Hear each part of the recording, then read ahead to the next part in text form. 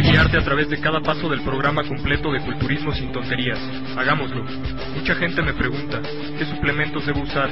¿Qué suplementos valen mi dinero? ¿Cuáles son una estafa? ¿Cuáles son solo una moda?